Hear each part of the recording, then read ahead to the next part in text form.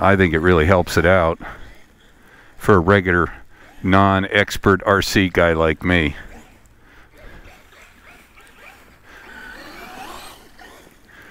And the fun thing about the MAXX is it still is fast.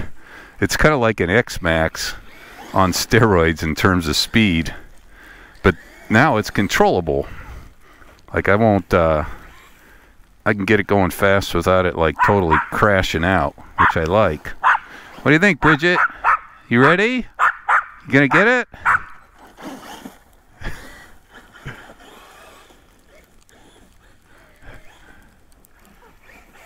So you got XMAXXes can be used for all kinds of stuff. Having fun, having fun with the dog. Even the neighbor's kid can ride it. Parker comes out and drives it around when I put it in training mode.